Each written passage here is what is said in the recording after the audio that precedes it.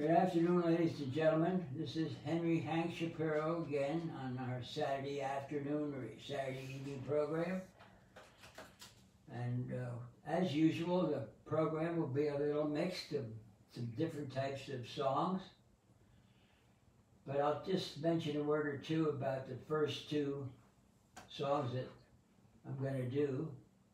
The first one is a song titled Say It With Music that was written in 1921 by Irving Berlin.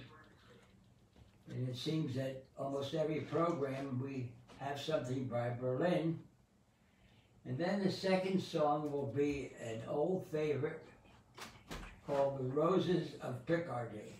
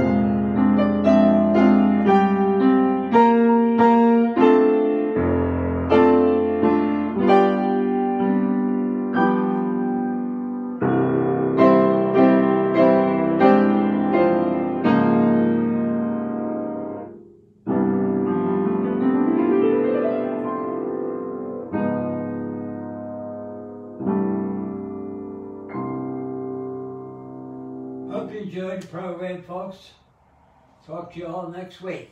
Have a good one. Feel better. And get over the virus. Thank you.